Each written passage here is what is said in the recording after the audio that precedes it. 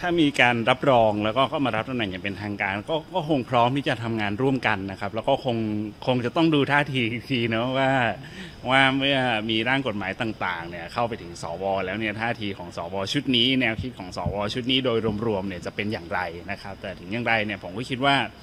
โอเคเราก็เราก็คงไม่ค่อยเห็นด้วยกับวิธีการวิธีการได้มาซึ่งสซึ่งซึ่งสวที่มันซับซ้อนขนาดนี้ แล้วก็หลายสื่อเนี่ยก็มองว่ามันก็มีคนที่สามารถแฮกระบบได้นะครับด้วยการใช้ทรัพยากรอะไรต่างๆ ที่เขามีอยู่เนี่ยแต่จริงๆเนี่ยผมก็คิดว่าแน่นอนว่าคงยังไม่อยากกล่าวหาก่อนนะครับ ผมคิดว่าคงต้องรอดูอีกทีหนึ่งว่าสุดท้ายแล้วเนี่ยท่าทีของสวชุดนี้เนี่ยจะเป็นแบบที่ แบบที่แบบคำคอรหาหรือไม่นะครับ แล้วก็รอที่จะรอที่จะลองทำงานร่วมกันนะครับก็ก็คงจะคิดว่าไม่น่าจะมีปัญหาอะไรมากครับ ในส่วนตัวผมเองเนี่ยก็คิดว่าคง